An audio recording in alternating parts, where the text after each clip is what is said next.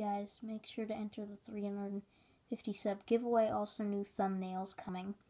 Um, I'm not going to be using uh, the the old thumbnail maker. I'm using a new thumbnail maker. Same name, but uh, yeah, just wanted to tell you.